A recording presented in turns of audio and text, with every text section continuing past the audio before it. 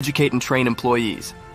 Conducting comprehensive cybersecurity education for employees yields multiple benefits, significantly lowering the risk of succumbing to social engineering tactics.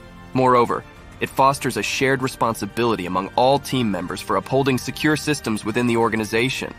A recommended approach is to arrange periodic training sessions covering essential topics such as password management, phishing awareness, and the potential risks related to company tools and systems.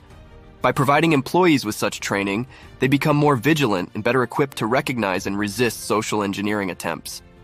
Armed with knowledge about various information security best practices, employees can effectively thwart malicious efforts aimed at gaining unauthorized access or extracting sensitive information.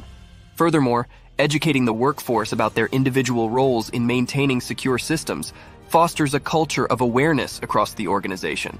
When everyone understands their accountability in safeguarding digital assets, they actively contribute to the overall resilience of the company's information infrastructure.